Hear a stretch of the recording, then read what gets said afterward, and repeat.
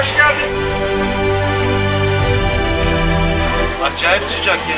Klima var ama hissetmiyorum.